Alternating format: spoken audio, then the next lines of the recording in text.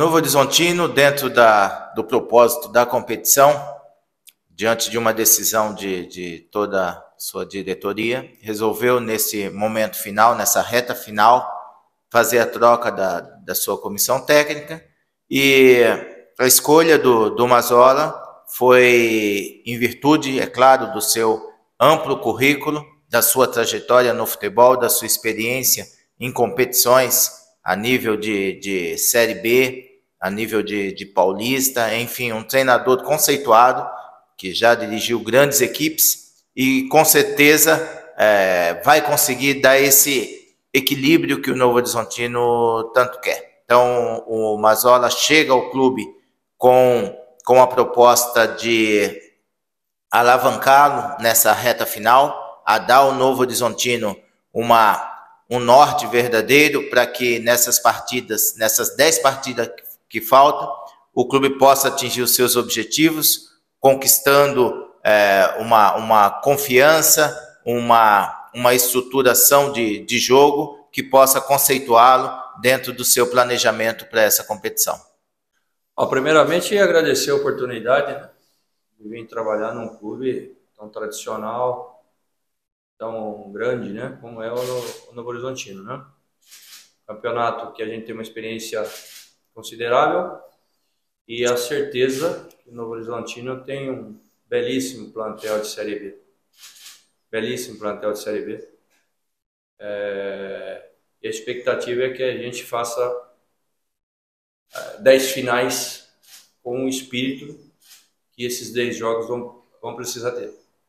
Você já tem um primeiro jogo já na quarta-feira com Sampaio Correia, duas sessões de trabalho para esse jogo. O que, que dá para passar, para transmitir? Qual que é o seu objetivo nessas duas sessões? É, vai ser um trabalho muito mais no lado tático e no lado psicológico do que propriamente é, em qualquer outro sentido, né? A gente tem experiência já de ter jogado, inclusive, esse ano lá contra o Sampaio, conhecer bem o Léo Condé, né? aliás, é um profissional muito conhecido aqui também no clube. E nós vamos procurar, é, já nesse jogo, mesmo com pouco tempo de trabalho, é, passar para o grupo a nossa mentalidade, que é de ganhar.